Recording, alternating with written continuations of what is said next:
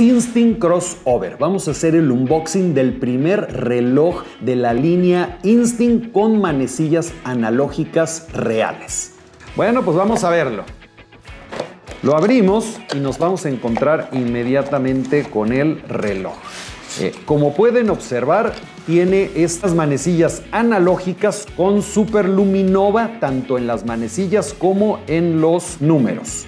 Al prenderlo vamos a notar que las manecillas también se mueven para que puedas eh, observar toda la parte digital.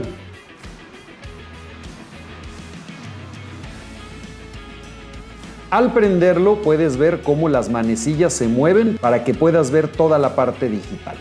Las manecillas y los números están puestos con un material super luminova para que pueda verse en la oscuridad. Y aunque tiene manecillas y la parte digital, siempre las manecillas se van a mover para que nunca te quede tapada la parte digital. Y por supuesto, puesto en la muñeca se ve impresionante. La línea Instinct, como ya hemos hablado, está diseñada para deportes en exteriores y de montaña, por lo tanto de materiales hiper resistentes de grado militar para que puedas llevarlo al extremo que quieras. Incluso aunque las manecillas son analógicas, si por algún motivo tuviera un fuerte golpe y se movieran un poco, inmediatamente las va a calibrar de regreso para que siempre estén a la hora exacta.